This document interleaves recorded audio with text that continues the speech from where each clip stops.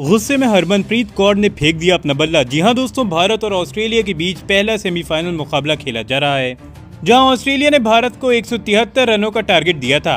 भारत जब स्कोर को चेस करने उतरी तो शुरुआत में ही भारत को झटके लग चुके थे। लेकिन फिर कप्तान हरमनप्रीत शानदार बल्लेबाजी कर रही थी और भारत को जीत के पास लेकर जा रही थी।